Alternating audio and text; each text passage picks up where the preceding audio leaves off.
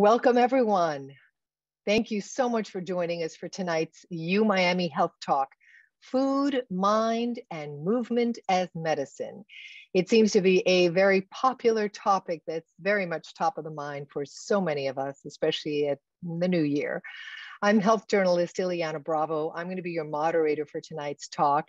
And of course, it's presented by UHealth Virtual Clinics. There's so many of you out there, hundreds of you who have signed up for this, and we really welcome you tonight. Because remember, UHealth expert providers are ready to care for you in our facilities, virtually, wherever you are. And most importantly, we invite you to learn about the measures we have in place to keep you safe in our facilities, as well as your appointment scheduling options. Please visit umiamihealth.org and see what your choices are. Well, tonight we're excited because we're going to hear from three University of Miami health system experts, Dr. Michelle Pearlman, Ms. Flora Beth Arat, and Mr. Christopher Fitzmaurice. A question and answer session is going to take place at the end of their presentation to answer questions that many of you have already submitted in advance, but there's no problem, you have time. You can still ask the experts questions as we go along using the anonymous Q&A feature at the bottom of your Zoom screen. Take a moment on your computer or whatever device you're using to locate that now, little bubbles that say Q&A. You'll enter your questions as you think of them. We'll prepare them for our panelists to address at the end. And our experts will also be asking you some questions. So please be prepared to respond and be informed. Now, I'm pleased to introduce our first speaker, Dr. Michelle Pearlman, an assistant professor in digestive and liver diseases at the University of Miami Miller School of Medicine. She's a gastroenterologist and physician nutrition specialist, board certified in internal medicine, gastroenterology, and obesity medicine. Her mission is to educate the community on the fundamentals of wellness and nutrition, and she collaborates closely with specialists in bariatrics, hepatology, endocrinology, sleep medicine, sports medicine, oncology, and dietetics to provide comprehensive care to patients with nutritional issues. We're so pleased to have you tonight, Dr. Pearlman. Welcome. And we're going to begin with the first poll question. Remember, we told you to be prepared to be asked? Well, here you go. First question Have you ever struggled with getting to or maintaining a healthy weight? Dr. Pearlman is going to be at the ready to give us her ideas and her reaction to this yes or no response. Have you ever struggled with getting to or maintaining a healthy weight? I think we can all relate to this one at different times of our lives, and certainly during the pandemic and all the challenges and difficulties. And the answer is overwhelmingly, Dr. Pearlman. I think as we expected, 77% say yes, they have. All right. Thank you, Ileana. Good evening, everyone. I'm honored and privileged to be able to have the opportunity to speak to you all tonight about something I'm extremely passionate about. During most of my training, I learned how to properly evaluate patients, make diagnoses, and offer treatments, many of which involved medications, procedures, or surgeries.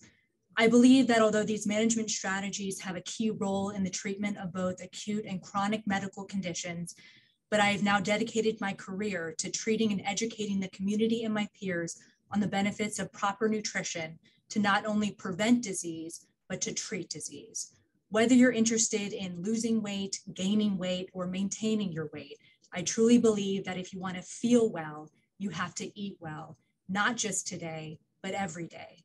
Tonight, we aim to provide you with the tools that will change the way you think about food, the mind, and movement. We will try to answer as many of your questions, but we'll defer more personal health questions to private consultations.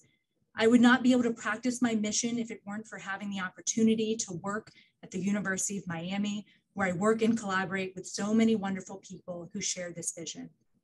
From registered dietitians to exercise physiologists, mental health providers, primary care providers, and numerous subspecialties. My mission is to educate the community on the fundamentals of wellness and nutrition, to support and develop successful and affordable approaches to the prevention and treatment of obesity and its associated diseases, and to do this with accessible, innovative, and comprehensive care using a multidisciplinary approach.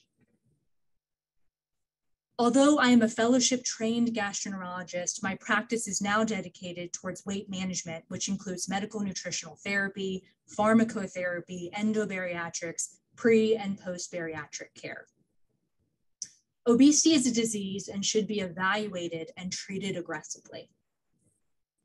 Through my time as a practicing gastroenterologist, I've realized that addressing nutrition and helping people maintain a healthy weight is essential for some of the most common gastrointestinal disorders that I encounter on a day to day basis. Whether it's heartburn, Barrett's esophagus, esophageal cancer, gallstones, gallbladder cancer, colon polyps, colon cancer, and fatty liver, you name it, all of these conditions are affected by nutrition, weight, and exercise. Now, unfortunately, weight loss is not that simple. It's not just about cutting calories, moving more, using diet drinks and artificial sweeteners in order to lose weight. It is far more complicated. And the problem is, is that in the digital age, there is so much information that people just don't know what is true, what to believe, um, what is fiction, what is nonfiction. And so I get these questions all the time. Is fat bad? Are carbs the enemy? How much is too much protein? Should I do keto or what about intermittent fasting? These are questions I get on a daily basis, multiple times per day. Fad diets are extremely common and they are quick weight loss plans that promise quick results and often are so restrictive and they are really only temporary and they are just not sustainable. And I have so many patients that have lost 20, 30, 40, 50, even upwards of 100 pounds eight different times. And so, really, the challenge here is not just losing the weight, but the challenge is actually losing the weight in a healthy manner without developing disordered eating habits and then maintaining that weight while still res- having a resemblance of some quality of life and being able to do the things that you want to do. These are some infamous moments in dieting history some of my favorites are the Sleeping Beauty diet, where people will take sedatives and sleep the whole weekend so that they don't eat. Um, other common or not so common ones, people will actually take parasites in capsules to cause a malabsorption syndrome. Um, and then some of the more common branded ones like Weight Watchers or Jenny Craig, I would have to admit that I'm guilty of doing the grapefruit diet and the cabbage soup diet. Um, and so people are clearly desperate um, to try to find the perfect diet plan. Um, but if there were a perfect diet plan, there wouldn't be hundreds and even thousands of diets on the market. Um, and so trying to figure out like not a diet, but really using this term, a nutritional plan, a lifestyle plan um, is really the way to go. When we mention terms like diet, that really connotes a finite amount of time. So things like the whole 30, people say, I'm going to go on this plan for 30 days and then I'm going to reintroduce some of my old eating habits, and they notoriously gain the weight back. So these are not finite diets. These are lifestyle changes where we can allow you to experiment with food to help you figure out what's going to help you in the long term. So I use food as medicine. When we talk about normal physiologic food reactions, many times our body is actually trying to protect ourselves from some of the disordered eating habits that we've um, learned or that we um, kind of have been trained to think are normal. Starting from when we're babies, we're literally told when we should eat, what we should eat, and how much we should eat when we go through school we're given you know breakfast in the morning before school. We're told when we have to have lunch and how much time we have to eat it. We get snack time in the afternoon and then it's dinner and then maybe some ice cream before bed or cookies and milk. And so these eating habits are ingrained in our brain from when we are babies. And so the problem is is that people often are never actually taught what true hunger feels like. We think we're hungry but many times we're not hungry for true food we're hungry for something. And whether that's companionship or whether that's movement or stress reduction, um, we, we often tend to confuse those signals. And so when people feel poorly after eating certain food, after eating certain foods, many times it's our body trying to tell us maybe we need to make adjustments. Maybe what we think are normal eating behaviors are not so normal. So eating large amounts of food, uh, our stomach gets distended, we can regurgitate. Um, fatty foods like fried foods delay gastric emptying and alter motility, and that can cause nausea and pain. Foods that have high FODMAPs, certain carbohydrates that produce gas molecules, will cause bloating and in some people diarrhea. A lot of diet food products are rampant with artificial sweeteners and sugar alcohols, and those can cause a lot of GI symptoms like bloating and diarrhea. And it is actually normal to pass gas. That is a normal physiologic process. So truly trying to figure out and differentiating between normal eating behaviors and abnormal, and what is our body trying to tell our brain as far as maybe our eating behaviors um, need to make some adjustments. Um, and so if you want to feel well, you have to eat well. What I harp on all the time is that it's not just about what you eat, but how you eat and how much you eat is just as important. Healthy eating varies from person to person. Just because an item contains nutrients does not mean it's going to be healthy for you or allow you to feel well. Food allergies and intolerances can develop at any age, and your body changes from a day to day basis, just like everything else in our life changes, whether it's stress, anxiety, surgery, antibiotics, medications. Our nutrition as we age has to be just as dynamic. And so the, the honestly, one of my favorite parts about what I do in clinic is I get to teach grown adults how to eat. So it's extremely fun, but it's also extremely challenging. I have to try to change 50, 60, 70, 80 years worth of sometimes very poor eating behaviors. Um, and so that can be a challenge. But if people are able to make progress, not perfect changes, no one has to be perfect, but making progress and making better choices can make a huge difference. And so little things like avoiding straws, eating slowly, oftentimes I'm guilty of myself, we inhale our food, not uh, talking while eating, um, swallowing tons of air, making sure we're not going to a midnight buffet on a cruise and then going to bed right after. And then we'll talk more about exercising regularly and stress management. So what do I do as a gastroenterologist, but with a specialized specialization in obesity management? I focus mostly on medical nutritional therapy. I also offer pharmacotherapy or medications, endobariatrics, and I work very closely with our uh, bariatric colleagues. The struggle is real. How do I meet someone for the first time, establish rapport to discuss a sensitive topic, learn about their comorbid conditions, about their failed prior weight loss attempts, coping strategies, family unit, support system, budget, time constraints, food preferences, allergies, and then teach people the basics of nutrition. What is added sugar, natural sugar, high fructose corn syrup, and then counsel them on realistic goals all in 40 minutes. I know that's a mouthful. I'm exhausted just talking about it. But yes, it is possible. And I, I really try to form a partnership with my patients.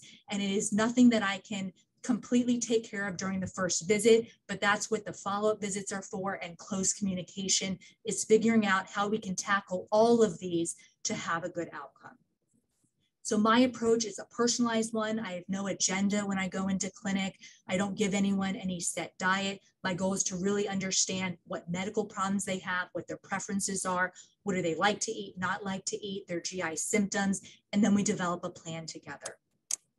In general, we want to avoid or limit liquids with sugar, added sugar, added salt, and avoid trans fats. And then again, depending on the person, there's a lot of nuances. And then we kind of get into the weeds on what that plan would look like for each individual person.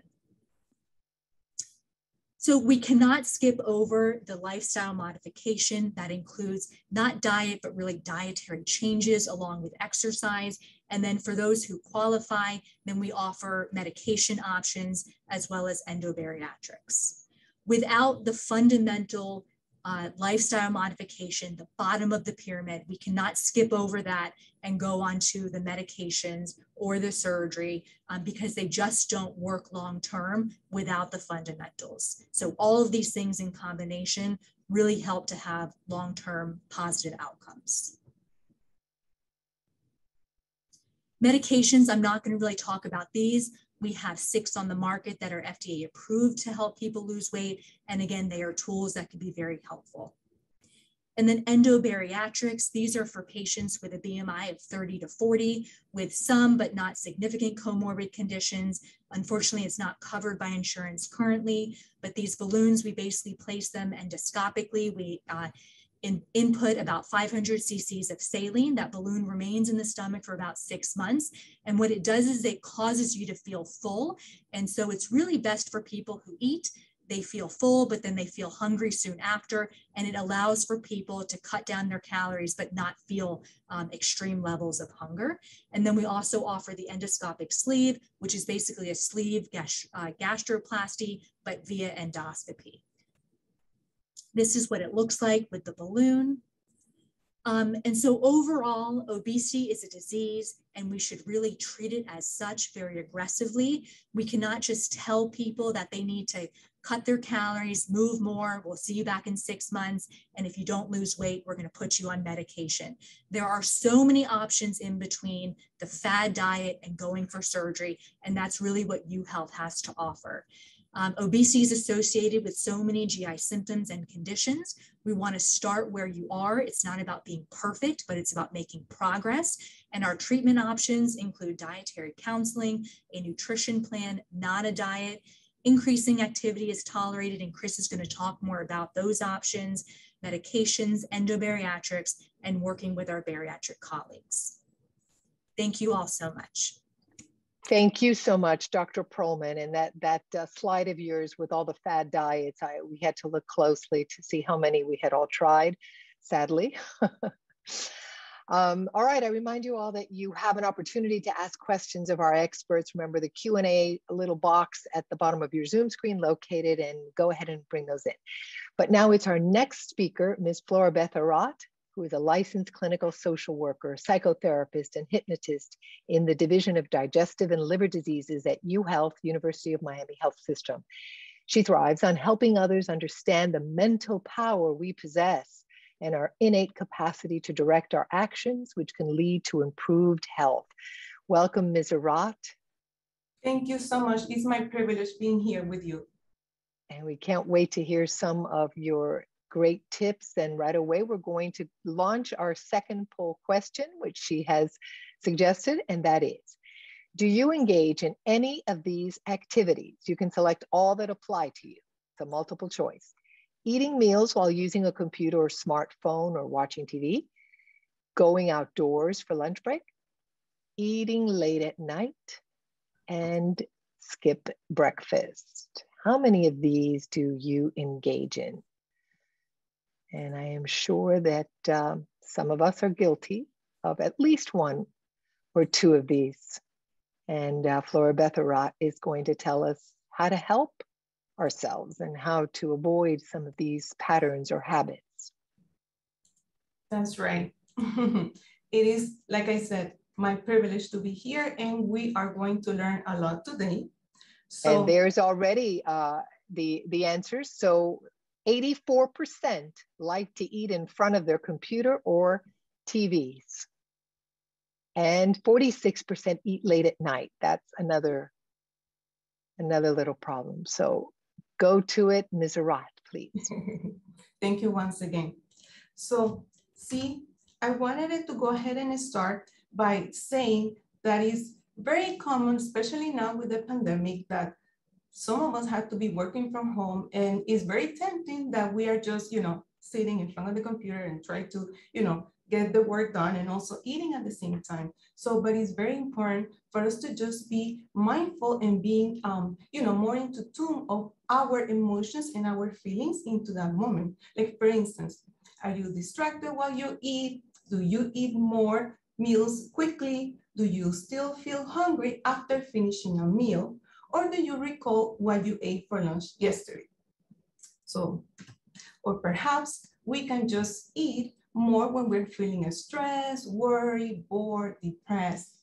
If you do, that's that's okay because you're not alone. You see, my name again is Floribela Rao. I'm a licensed clinical social worker. I'm a psychotherapist and a hypnotist.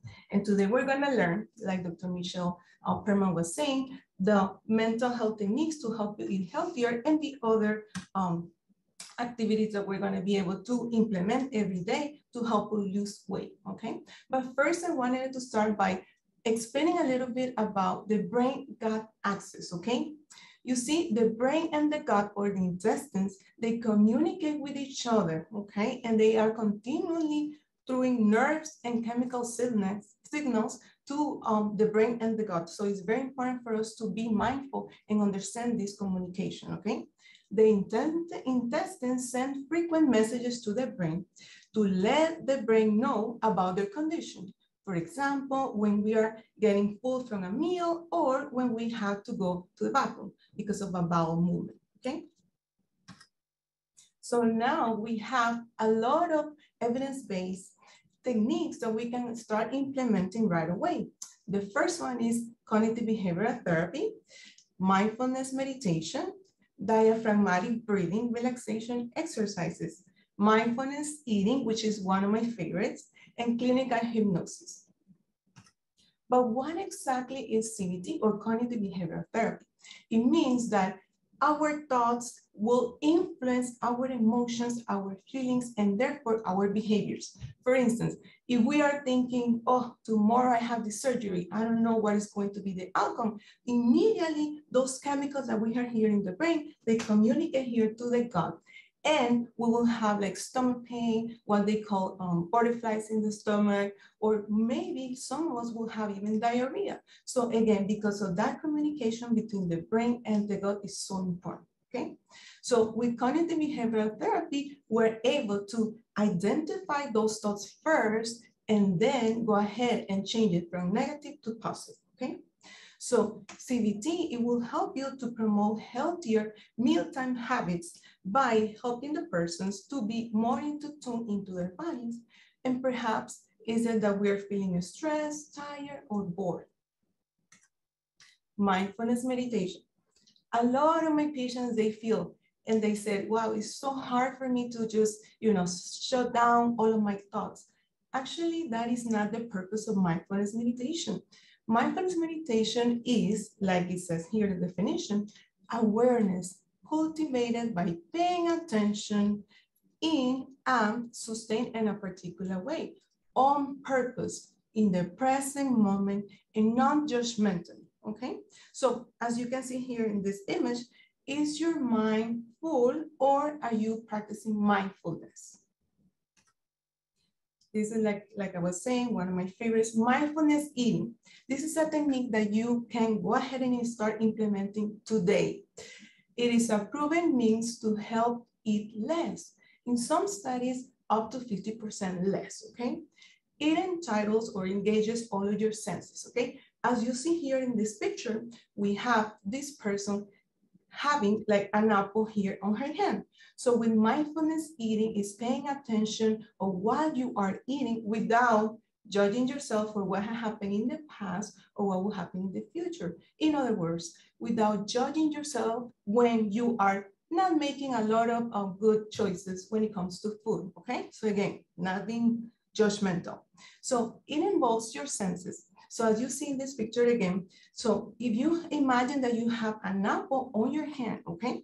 So we're going to utilize the sense of vision. What is it that you see on that apple? What is the color? What is the, the shape? And what is the size, okay? So again, you're involving all of the senses. Then the sense of touch. So you're going to go ahead and touch that apple.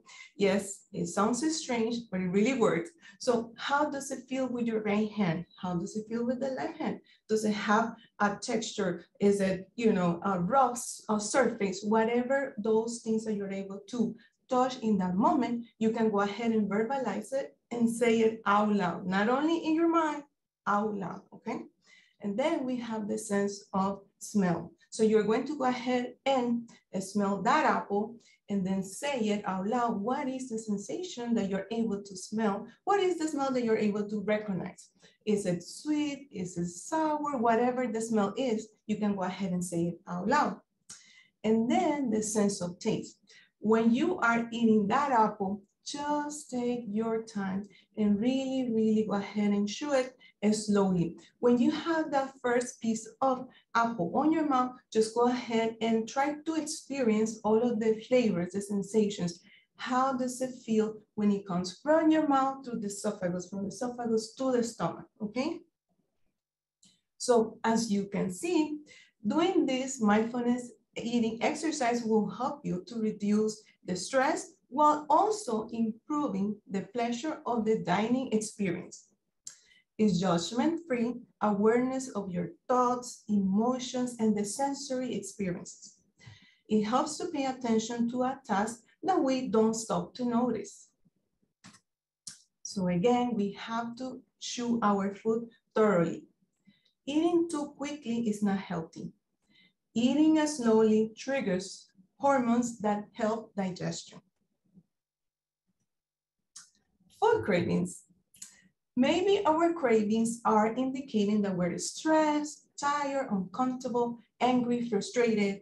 So perhaps we need to start asking ourselves, well, is it a physical hunger that I'm experiencing right now, or is it emotional hunger? There's a difference. So we have to, again, first kind of, you know, set our thoughts into the moment before you make the decision of eating something, okay?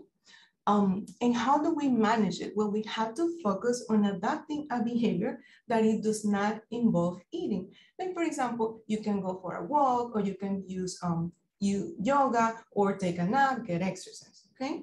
Or practice meditation. This is another of my favorite techniques that we use. Um, clinical hypnosis. And let me just say that hypnosis is not what we see on TV where they will make you do these silly things that you have to, you know, move your arms and pretend that you are a bird. No, that is actually, excuse me, a stage hypnosis, okay? That's not we're going, what we're going to be doing um, here in the clinic. It is clinical hypnosis in which we're going to be able to work with the subconscious mind to help us decreasing the sugar cravings or decreasing the anxiety. Um, and, and again, it's super, super interested, interesting. It's very evidence-based. 98% of the population can be hypnotized. All hypnosis is self-hypnosis. The hypnotist, like myself, will not do anything to you. You will do it on your own and you will be awake the whole time. It's not that you that they're gonna make you fall asleep. No, it's not. It's just like I said, being in this state of deep relaxation that your subconscious mind is open for the, any of the suggestions, okay? So what is clinical hypnosis? Again, it is the bypassing of critical awareness of the mind. We do hypnosis in our own every single day let me give you an example. When you're driving your car, you think about a lot of things. However, you don't start thinking about how to drive your car. That is a perfect example of hypnosis. The second example is that if you are watching a movie and then you get swept away into the movie, if the main character cries, you cry. If the main character is happy, you get happy. So you see, we're just, you know, in that state that even though everything that we see in that movie is fake, we are still able to believe it, okay? So that's an example of hypnosis. Hypnotherapy, the use of hypnosis as a tool to help the mind. Again, we use a lot of deep breathing, diaphragmatic breathing, relaxation exercises, guided imagery or visualization, progressive muscle relaxation techniques, it must be performed by a licensed mental health professional. So what are the strategies? Well, in general terms, we have to reserve eating just for eating. Distracted eating, it will lead us to be indulging, okay? Number two, we have to sit down to eat our meals. I would prefer for you guys to be eating on the, you know, by the table. So that way your brain has that kind of, you know, break and say, okay, even though if I'm working from home, I'm still able to just during lunchtime, stand up, go to the kitchen table and start having your meal. Number three, before you begin to eat, take a few seconds to calm your mind down, okay? And how do we do that? By practicing deep breathing relaxation exercises, okay? Number four, eat slowly. Number five, be conscious of portion control. Begin to eat with a positive and joyful attitude. Recall in your mind's eye what you ate at the previous feeding, okay? Never go back for seconds for at least 20 minutes after your first bite of food. when you feel full, again, that connection between the brain and the gut, put your fork down and pause to prevent overeating. Number 10, associate your food and connect with the people with whom you are sharing the meal. And this is my last quote, one of my favorite uh, psychoanalysts, that's Carl Jung, that says, I am not what happened to me, I am what I choose to become. Thank you very much. Thank you so much, Ms. Rotten. Uh, such useful information. I mean, who thought that eating fast or or not calming your mind or getting yourself centered before you sit down with a plate of food was so critical thank you so very much and um, by the way a lot of you in the q&a chat are asking whether this webinar tape is going to be available later and the answer is yes it's going to be emailed to all of you attendees about a week uh, later so a week from now give or take you can receive this webinar so thank you so much for paying attention so closely. Now let's um, welcome our final presenter of the evening, Mr. Christopher Fitzmaurice, an exercise physiologist and health coach at Sylvester Comprehensive Cancer Center at the University of Miami, who leads community exercise programs at the UM Wellness Centers. He creates exercise programs for people living with cancer and his mission is to keep our community active and inspired to move at every age. Now, Chris himself has a very personal and inspirational health story. He was diagnosed with autism at the age of two and encephalomyelitis at age five. And guess what? He used exercise to overcome a challenging childhood. So, so great to have you with us tonight, Chris. We're going to launch right into the last two poll questions of the evening, which he submitted. So here we go. Question number one. Since the lockdown of the pandemic, has your time spent in exercise increased or decreased? There are your choices increased, decreased, not changed at all, or I don't exercise. Obviously, the lockdown was a time where we never expected to happen and we were locked up in our homes and suddenly um, and depressed and anxious and uptight and suddenly exercise perhaps took a back seat so let's see how we did. And the response is hmm, 37% increase 43% decrease kind of almost 50-50 on that. That's very interesting.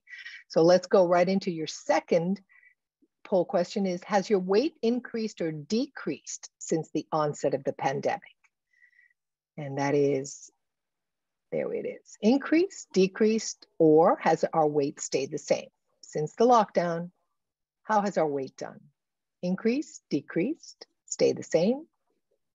We ate more, maybe we had more time, however, to exercise more. So I'll be curious to see what the answer is here as Chris then weighs in and starts his presentation.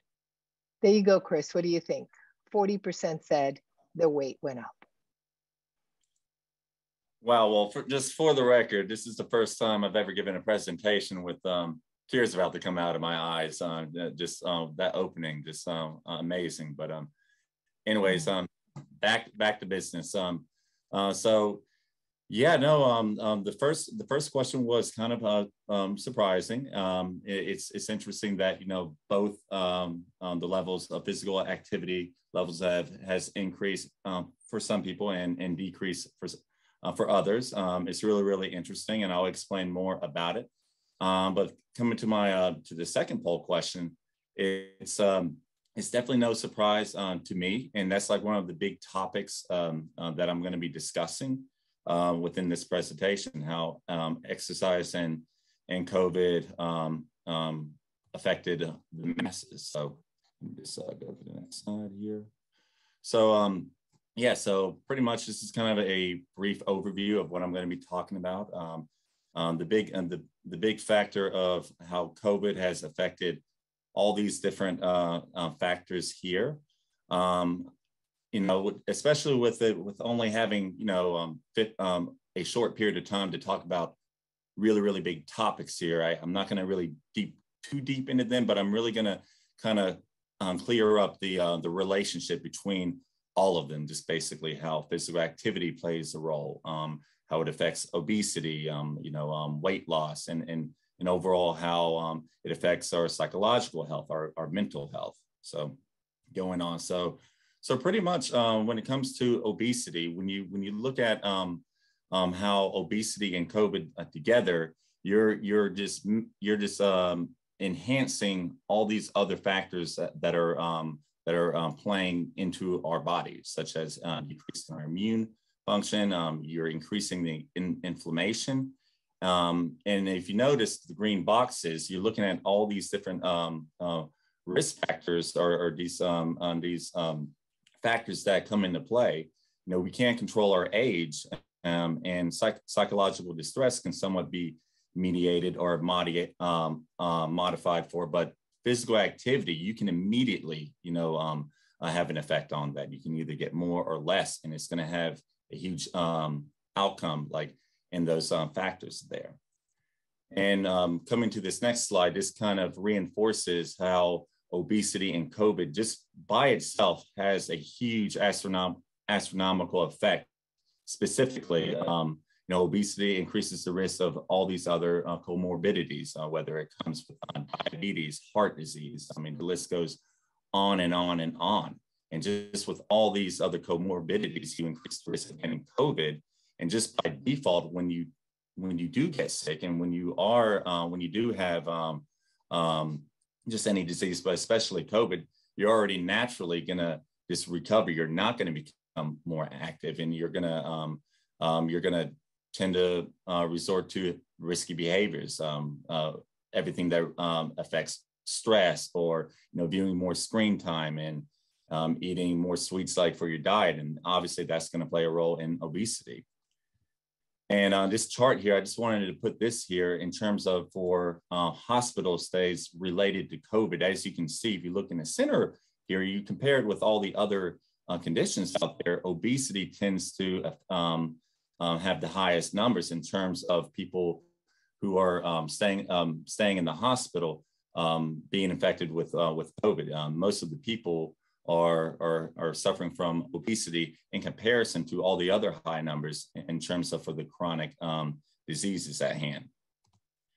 And then we just take a deeper dive into just mental health, just how um, and I'm pretty sure we all can mentally uh, relate to this, just how COVID 19 has related to our mental health. I mean, just taking the whole exercise component out of it, you know, it affected a lot, a lot of us financially, how, how it created more economical uh, problems for all of us, how it affected our, our levels of sleep, and, and just how, um, you know, more screen time, more time on social media, you know, all this affects mental health. But then you um, add COVID to it, it's just, again, it's going to magnify you know the variables um, below uh, anxiety and depression and, and, stress and those three factors right there they they um, very relate like to, to each other. If you are depressed you're going to tend to have a, um, a high level of anxiety and stress. Then um, on here if you look at here this is kind of like the role with um, depression. As you can see the factors you know you can see it occurs in a cyclic um, fashion. But what's really interesting here, if you look at the, at the bottom, you know, yes, passive sedentary behaviors, um, you know, time that you're not engaging and being active or exercising, yes, it's going to cause these downward uh, factors uh, that is going to not only lead to more chronic disease, you know, but definitely mental health. But if you look to the right, um, it shows that if you start engaging and just being active, moderate, uh, moderately uh, physically active, just uh, moving around, you know, you can start to reverse some of these um, uh, factors that that plays especially uh, as it relates to some of these other diseases. You know, um, you know, you look at diabetes and a metabolic syndrome and uh, cardiovascular disease. Like these are um, uh, these are um, modifiable diseases where you know just by changing your lifestyle, you influence the outcome. Like for those uh, given conditions. And just like right here, um, if you just look at the social confinement, uh, two big things happened during the COVID. Not only our physical activity levels went down, our sedentary um, activity went up. I'll give you an example. Like for example, for me, I'm somebody who goes to the gym all the time. My main my main time of being active is working out in the gym. well, you had the lockdown to it just by default. I lost that time of being physically inactive, um, or, yeah, or phys- physically active, and and um, especially in the lockdown at home by default, I'm just sitting around and doing nothing, increasing the sedentary time time and and, and um, increasing the risk and all those um, previously mentioned issues there. So basically, the goal is like when it comes to how much exercise or how much phys- uh, physical activity we want to get, the goal is is is um, yes, 150 to 300 minutes um, um, per week, but really the aim is shoot for 150, and you can break this up. Can do like five days of 30 minutes of just simply moving around. And when, when I'm saying moving around, avoid uh, avoid uh, long periods of laying down and sitting down in a chair. I look at that as, you know, if you're avoiding those two things, you're in the green zone. You're being active, you're moving around. And if you look at these benefits right here, these are the benefits of how it uh, of how it um, improves you directly related to to COVID. And then you can uh, then you can break it down to different types of activity. You, know, you don't always have to go to the gym to work out. You can do things at at home. You know, uh, one of the one of the big things, of course, with the lockdown, um, not only people couldn't go to the gym, but um, people lost their ability to get access to uh, to the equipment that maybe they were used, used to doing. Then, you know, you have places like Amazon and everything. You know, the, because the demand was so high, which that's a good problem. But again, it kind of defeats its purpose because you know we we rent. You know, a lot of these places would run out of kettlebells, dumbbells, um, I mean, you you name it, you know, um, and you know, um, and it shows like you don't have to have like those pieces of equipment. You can use things around the house. You can use laundry detergent bottles. You can use milk containers. Um, you know, you can use your chair and things like that to get the same similar uh, benefits for being uh, um, for, for, getting active. And the big thing is, um, especially you know, living in Florida or or places like that, you like like just by getting outside, you're already being active. Because if, if you think about it, you got to get back in in the house. So hey, you're being active right there. And in in the whole mission, kind of like what I said, is you know try to break it down to 30 minutes, five five days a week. Bam, you hit your 150 minutes like for the week, and it just shows you these are different ways of of how you can do it. You can clean up clean um around your house. You know like maybe if you are working maybe you're just walking around instead of sitting down at a, at a desk. Um, just by maybe getting out of your seat every 30 minutes or so long term wise you're already producing enough um, um, health term benefits in terms of avoiding the effects of sedentary activity and this um, and this chart here just kind of separates the immediate and long term effects of exercise i'm not going to dive into them but one of the big things, what a lot of people do when it comes to, um, you know, you know, goal setting with a lot of the um, patients or just people that I work with um, in a group fitness setting, um, that the goals that they're trying to do is more closer to the long-term effects of exercise. You know, they, they want to improve their heart health, or they want to lose weight, especially, or they want to improve their bone strength. Um, but a lot of people neglect that, you know, just the immediate effects that you get from exercise. Just one bout of moderate to uh, vigorous physical activity provides the benefit of, of, getting more quality sleep. Hey, that's that's benefit to mental health right there. Less anxiety, same thing right there. And also just even blood pressure. You're even you're getting cardiovascular benefit by getting a a post hypotensive effect from from exercise. And, and this is just with one bout of exercise. And I put this chart here that just kind of shows uh, just even with walking. Um, uh, I meet a lot of people who uh, who think like walking is a waste uh, like a waste of time. Like you know, you know, like I'm not going to get enough benefit from walking. But as you can see, you know, just by spending more time walking, you know, you get a cascade of different uh, benefits, uh, such as improving your energy levels, uh, um, elevating your your metabolism, you know, improving oxygen to your to your uh, to your cells and um, of your body. And and also you're having a, a cognitive benefit of just thinking thinking clearly. I'm going to be honest when i gave before i um giving this presentation i went for a little walk to to ease my nerves. Then they, we break it down to uh, even resistance training. And i just i put this up because um you know there's a big percentage of people out there that just think like oh resistance training is just you know it's it's just used for to gain muscles but no it's it's used for um, the benefits go beyond that. You know, um, it, it, goes for good um, glucose uptake. So those people who are having, um, you know, issues with um, or who, who are like pre-diabetic, for example, resistance training is one of the best things you can do because um, you, you're able to uptake the, the sugars better just naturally by just um, by this strength training. You have um, a neuromuscular benefit in terms of um, improving your coordination because when you do strength training, you are moving your entire body, and you know you're you're uh, addressing a lot of these other uh, key conditions as you can see.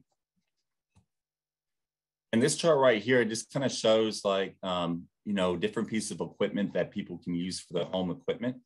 You know, now that because more people, you know, they're working telehealth or they're um, they're not having to go to work as much, or they refuse to go back to a gym, which again, that kind of presents an extra barrier right there. Um, I thought this little handout right here, this kind of discusses the pros and cons of using each of the different pieces of equipment. So as you can see, um, you know, like kettlebells, for example, um, the skill is is um, um, is required for it, but the cost is low. You know, um, in comparison to you know weight training machine, you know, kind of shows hey the cost is very very high, but you know the skill is relatively easy. And most of these uh, equipment are versatile, where you can use it for many many different things. Um, so great chart right there. So then the, the thing about uh, what I really appreciate about the um, telehealth services is one of the big things that came emergent, especially during the pandemic. And, and one of the things that I can attest to, and I'm pretty sure along with other people and a lot, a lot of the other providers out there, it allowed me to get my job back because there's one point when um, the pandemic got so bad, I was furloughed for about um, three or four months. But when I switched to health, telehealth, not only allowed me to get my job, but it allowed me to keep the community healthy. So it's one of the two big uh, positives I, I really appreciate uh, with this. And um, this little sample sheet is just kind of like an example that I give out to a lot of people. It's from the American College of Sports Medicine. They, um, I attach links at the end, uh, which I'll go over here in a, in, in a moment. But uh, this is like just a sample workout that I um, give to a lot of people. It just takes seven minutes to do, and you can do it at home. You don't need any pieces of equipment, but it's something you can find on their on their website. And on, on this, uh, this little uh, sheet right here is a great sheet for the children. Um, and I guess even the adults uh, too, but it's from the American Heart Association. It just shows like, you know, just 25 easy ways of how um, you can get active, of how you can not, only make exercise easy, but you can make it uh, fun. And one of the things I can really appreciate uh, from these big organizations, obviously the American College of Sports Medicine, CDC, the World Health Organization, American Heart Association, they're providing a lot of great resources out there to the public of like of where how you can make all of these things much easier to do.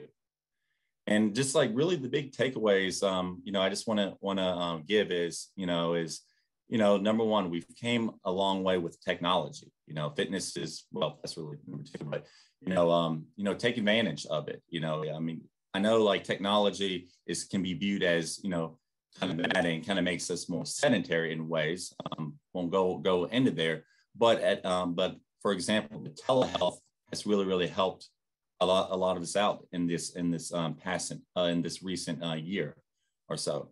Um, number two, fitness is always evolving. So when you know when there's a pandemic, fitness is going to find a way to to come to you to to keep you healthy and strong. And three, this is like uh, one of my big ones right here. You, are more the, you're more resilient than than you uh, than you really think you are. You know, the fact that you're here right now, um, listening to us speak. Um, you know, you're you're here. You um, didn't let all those other previously mentioned issues um, become too over, overwhelming. You're still here, and uh, and your bodies are a lot stronger than than you think. Give you give yourself credit. Give yourself a pat on on the back and and this comes up uh, comes to my uh, fourth one just have fun. At the end of the day when you exercise it's like your own art. It's it's your own version of of, of you. Um, don't make it burdensome. Don't make it very um, um, overwhelming for yourself. Um, make it unique to you. Uh, do your own thing with it. And and and when you think of it in that sense it really becomes much uh, much easier in the long run. So thank you everybody for listening Oh, Thank you so much, Chris. So inspirational, as have all our presenters been tonight. And uh, guess what? It's time to begin the Q&A session. So we're all going to be on screen here in a minute. So all of our experts are ready to tackle them. Remember, you still can ask questions of our experts using the Q&A function in your Zoom webinar toolbar. A lot of you actually have been engaging with our experts tonight directly, and they've answered some of your questions, which are personal and so forth, and you've really gotten a lot out of it. It's quite a privilege. So let's go with our first question. We've spent too much time inside the house during the pandemic and eat out of anxiety or boredom. I know that you touched upon some of this before, but how do you deal with this? And whoever wants to go first, take it away. Um, thank you so much, um, Ileana. Yes, actually the anxiety is a big part of it and the depression as well and the stress. So what we have to do is, first of all, I will encourage everyone just to practice the deep breathing relaxation exercise, okay? This is one of my favorites, let me, if I may, and I know that perhaps we are thinking, no, we don't have enough time, uh, or we had to run, we had to do this stuff, you know. So just trying to calm down and to practice the breathing exercise. You see, our brain is like a little computer. Everything that we hear, everything that we see, it gets recorded. So it's about reprogramming, if you may want to use that word, our brain into just calm down first. Okay, so that's the whole thing. And this is, if I may, I can, I would like to, to provide an example. Because we right now we're talking we're breathing. However we're not making like a, a huge effort and again to kind of uh, reprogram that brain of ours and make a deep breathing exercise okay why because that will be decreasing those cortisol levels that are very very high whenever we are stressed or anxious, we have to calm those down. We have to decrease those. So how do we do that? By providing this breathing exercise. Again, we're breathing with the diaphragm. The diaphragm is like a little parachute, okay? So it will help us to just feel those uh, lungs with air. So this is the way how I do it. And, you know, I would love to teach you guys today. So something extremely important, a key is to just close the eyes whenever you need to take your break and to take a deep breath. So closing the eyes, taking a deep breath in through the nose, and this is only gonna take us like one second, and then release it, hold it for four seconds, and then release it and slowly through your mouth. Okay, so let me go ahead. And the whole thing of, I always ask my patients to put one hand on the chest and the other one in the belly. Why? Because remember the brain that connection. So we got to go ahead and remind ourselves about that. It's about like when we're learning a new, um, you know, a new language or when we are learning to play an instrument. So again, it go, all goes back to the, you know, breathing and relaxation. So putting one hand on the chest and the other one in the belly. When we're breathing in through the nose, we're going to hold it for four seconds only, and then we're going to release the air out through the mouth, and we're gonna feel how the belly expands on the outside, okay? Some of my patients reported that once they release the air out through the mouth, the belly kind of goes in. So whatever works best for you, okay? So this is about discovering yourself, discovering your body, and start implementing the strategies that we can do. So again, I'm gonna close the eyes. I'm gonna take a deep breath in through the nose, hold it for four, release. One, two, three. I'm gonna hold it for four. One, two, three, four, and release it slowly. You see?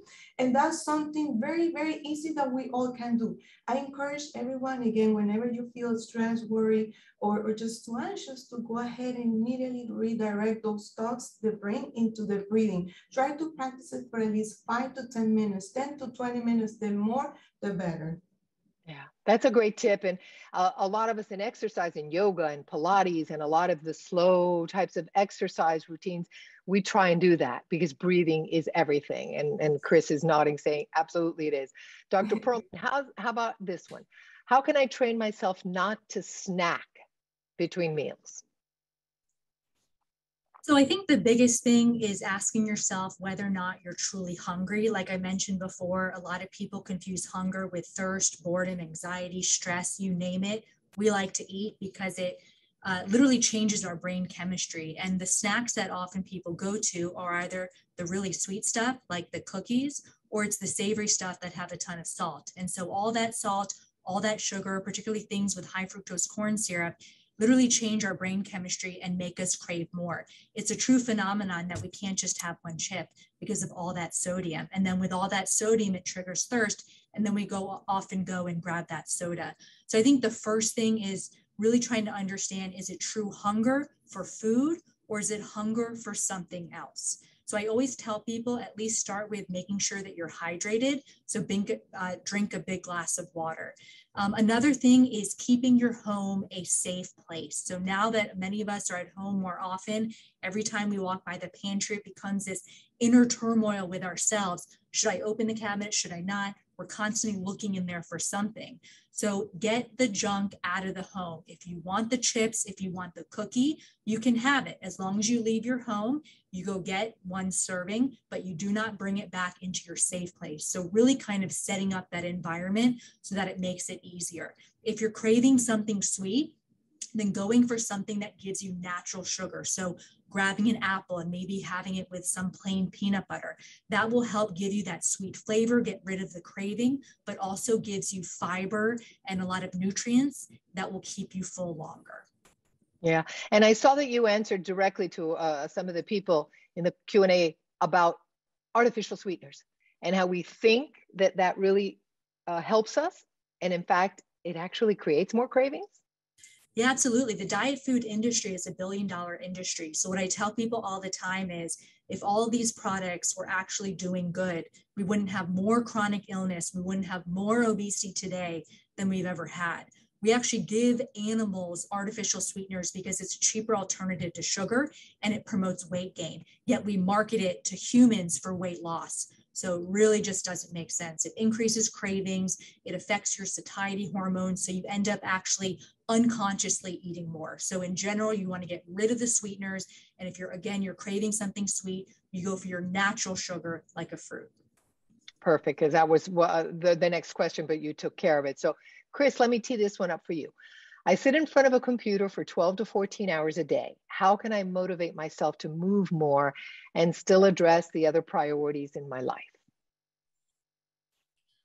No, that's a great question. So, you know, again, coming back to the uh, technology um, um, aspect of it, you know, um, even though it, you know, it, it, can slow us down, it can it, it can also um, uh, help you in ways too. So, if you are sitting down um, um, at a computer all day and you're you're uh, completely occupied with work or just other priorities, you know, you can you can take little breaks here and there um, and, and watch different uh, movement um, exercise uh, videos, whether they're on um, YouTube or whether it's um, if you go on um, um, beach beachbody.com or, or, or, or fitness blender. I'm just throwing some um, different uh, random examples out there. And what I really, really like about uh, some of the um, the exercise classes, like on YouTube, you can actually type in um, specifics: seven minute workout, um, um, five minute boot camp workout, and, you, you'll be surprised. You'll get some things that come on. But I will caution that just make sure that you know, of course, you approach anything with with caution. You know, know your limits, um, and and um, and another um, great option too is uh, you know they're talking about exercise snacks. You know, so um, even though you're sitting at a computer all day, day for uh, you still have to get up and go to the bathroom, or you have to get up and go to the uh, refrigerator and grab that snack. Maybe when you uh, when you when you when you do little simple tasks like that, you just do little exercise moments. Like every time when I go to the bathroom, I'm going to do uh, five body weight squats, or every time I go to the refrigerator, you know, I'm going to do 10 arm reaches, you know, maybe that doesn't do anything right now, but when you add this in the long term, it makes a huge difference. And, and surprisingly, when you start adding these little micro, um, micro bouts of activity, it does have a, have an effect on one's self-efficacy level. So when it, when it, when it comes to their belief of actually like, you know, what, I think this is not only I can do it, but I can make this more manageable for myself. And it kind of builds uh, from there. So um, those are, you know, two good ideas I would recommend. Yeah, and Dr. Pearlman also answered a, a, direct question with people asking about the type of equipment, and she's like, resistance bands. You, there's so much you can do with resistance bands at home, and and so here's another question for you, Chris, and that is, what types of exercises can this person do uh, he or she needs the assistance of a cane to walk and stand upright. So some uh, ability issues uh, physically. What what advice on that one?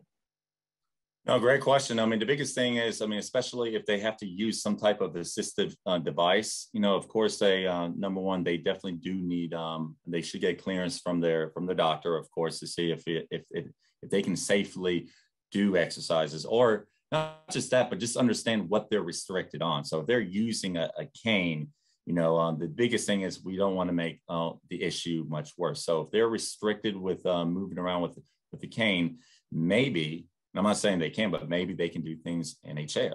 Maybe they they can do things um, on the bed or or or the floor. You know, maybe they can do things um, in in the pool. So like depending on what you know all those um, what what the different physical limitations are, assuming it's not too much, um, they can they can work around those um, those uh, different um, issues. And um, and I'll say if they are using a, a cane, um, and maybe they are not exercising at all, um, maybe a good starting point is doing um, some of the different like popular uh, chair fitness uh, classes.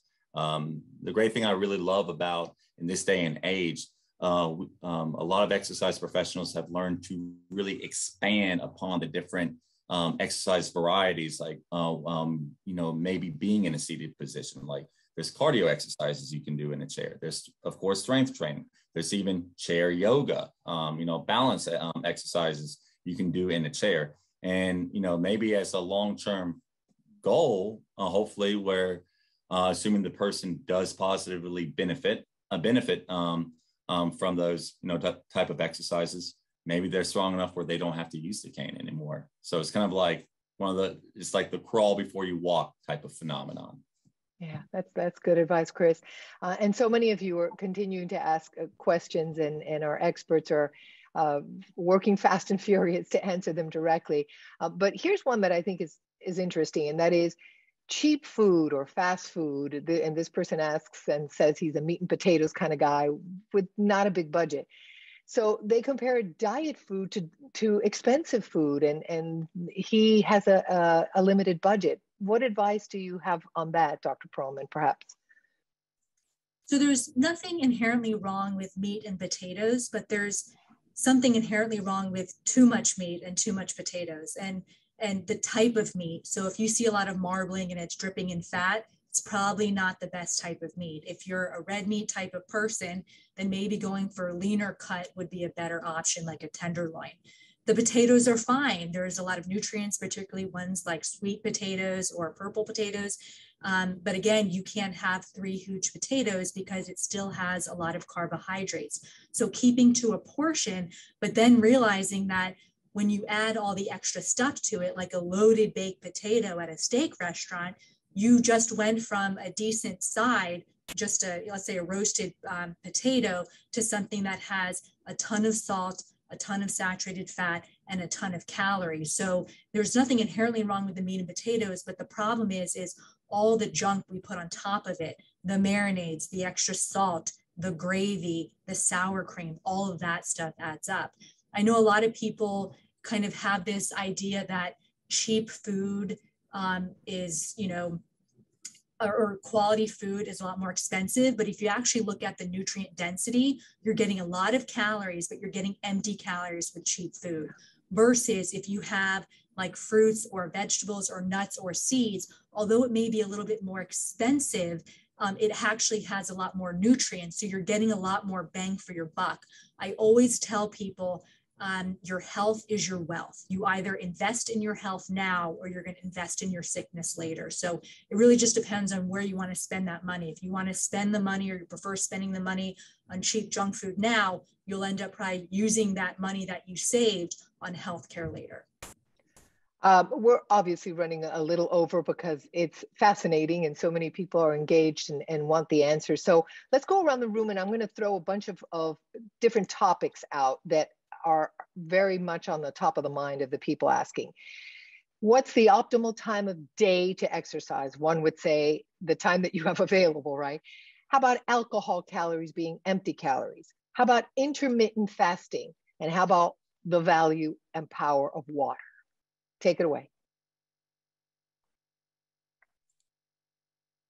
I guess I'll start oh, off. Oh. Yeah, go ahead. Go ahead, Chris. So I was going to say, as far as um, um for the uh, for the um, exercise part, um, definitely um, time is definitely the key factor. But if you had to pick one, um, research shows that um, mornings typically work better um, because um, you know um, typically the individual is already well rested. Um, their, for example, their growth hormone levels um, is is at its highest in the mornings uh, after a good night's uh, sleep. So people tend to um, tend to do better in the in the mornings uh, from a from a health perspective. Um, but nothing to take away from the from the evening. Um, but if you had to pick one, I would say it's better to do it early or just in the morning compared to the evening. Dr. Pearlman, talk about intermittent fasting. Some people believe in it, swear that it keeps them healthy. Do you believe in it? Is it good for us? Yeah, so it totally depends on the person. Um, I think when we're taught as children that we have to eat breakfast, it's the most important meal of the day. Breakfast is breaking the fast. So, whatever time of the day that is for you, whether it's 7 a.m., 11 a.m., or 2 p.m., that's your breakfast or breaking the fast. Um, I, I really try to teach people to eat when they're hungry, but it really depends on what your schedule is. So, for instance, if I'm going to be doing procedures all day um, then I will probably eat breakfast because I know I may not have a chance to eat until 4 p.m. And then I'm starving and then I'm likely to overeat. And then I don't want to eat 2000 calories right before I go to bed.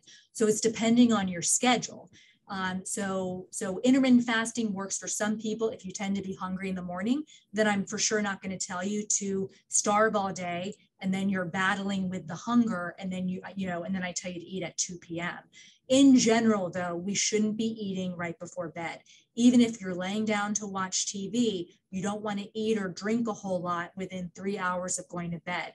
Whatever you just ate is now sitting in your stomach. And if you lie down or go to bed, it's now more likely to reflux up. So, depending on your schedule, your hunger levels, um, what you tend to prefer, again, you don't have to have breakfast. You just don't want to eat very late at night. And and then from there, it's really just tailored to the individual person. Yeah. Flora Beth, I'm going to let you sort of take us home with this one. And that is yes, we all know the power of water. We need a lot of water. We need to stay hydrated during the day, but really talk to us about the power of the mind. The fact that we have control over how we feel, how we control our feelings, and everything else. Please. Absolutely. My pleasure you see the brain, the mind, it's just very, very important here. We just have to take care of it.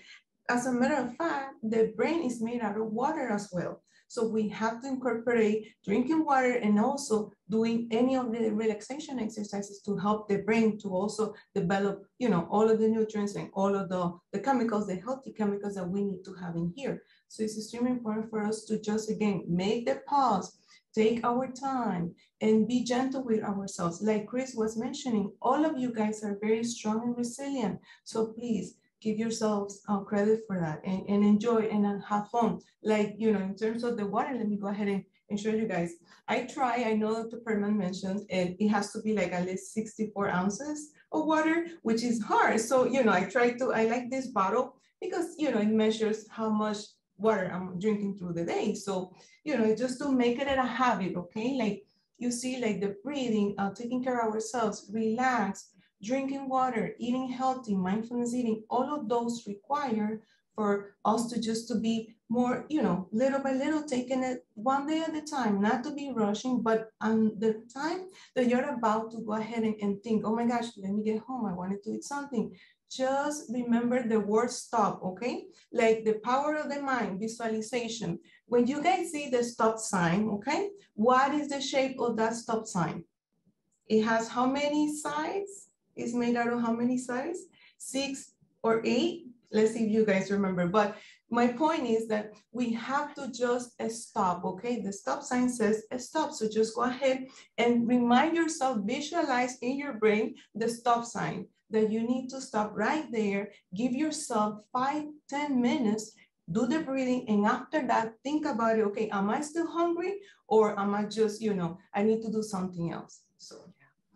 And then the other thing uh, that I'd like to remind everyone, and I know all of you can uh, weigh in and say yes, telehealth is available. Yes, it is. We will tell you how to connect with that.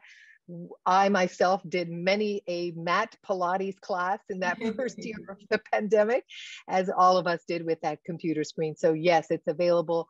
Uh, check the the end of our screen so you know how to contact everybody. But uh, unfortunately, we've come to an end. We went a little over because we had to, but we want to thank our incredible, attentive audience for their participation, and of course to our experts who were phenomenal, Dr. Pearlman. Flora Beth, Chris, uh, expert advice, inspirational advice, and thank you for taking the time after a very long and busy day. Because we at the University of Miami Health System appreciate you. We're here to care for you, and we invite you to please visit umiamihealth.org to learn more about our programs. Hope you enjoyed tonight's U Miami Health Talk. Yes, there will be uh, a link with video of all the recording.